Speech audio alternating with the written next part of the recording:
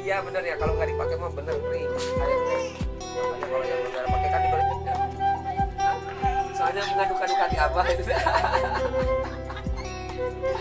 Aduh ini teh yang simak guys ya.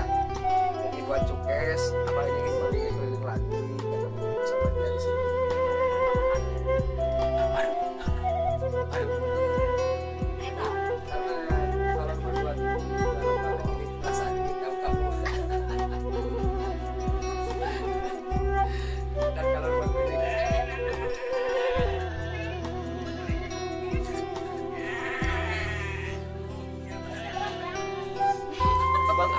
Fuck.